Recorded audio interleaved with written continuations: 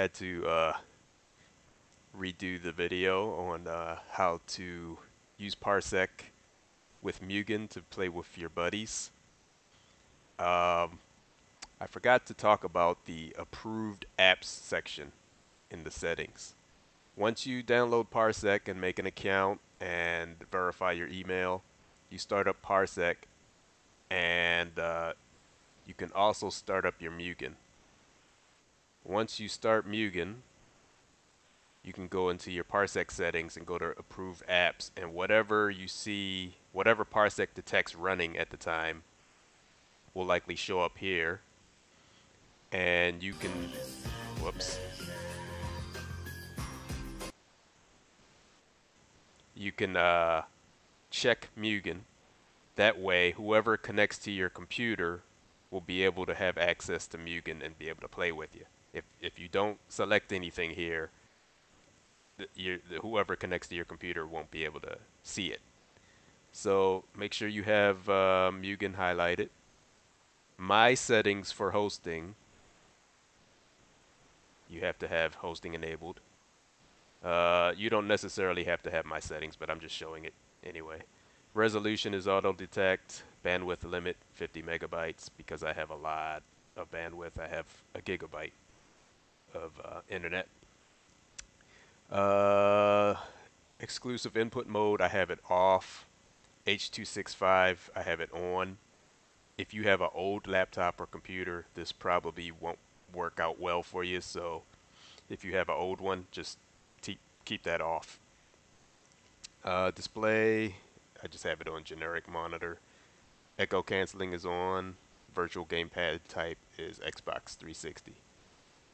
Um, for client settings, overlay is on, window mode is full screen, decoder mode is hardware, renderer is direct 3D 11, VSync is off, H.265 is on, decoder compatibility is off, immersive mode is both, Discord status is on.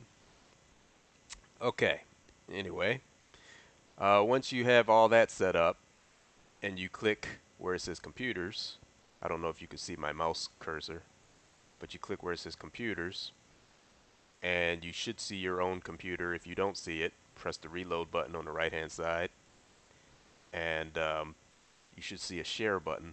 Once you click the share button, it will copy, generate and copy a link for you.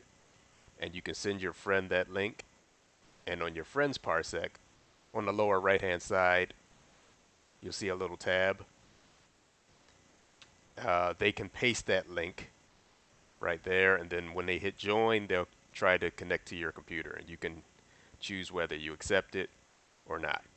So once you accept it, they're actually connected to your computer, and whatever uh, approved app that you had selected, they'll be able to see it. So now that they're connected to your computer, you can uh, restart Mugen. If it was already running, just close it and just restart it again. And you'll likely hear some sound effect as if somebody was plugging something into Windows. That means it detected their controller, their virtual controller.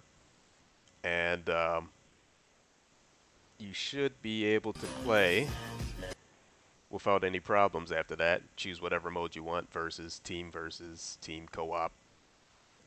Whatever you want, whatever your Mugen has, and you should be able to play together.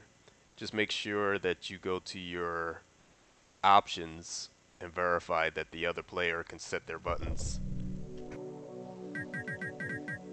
in, in input config.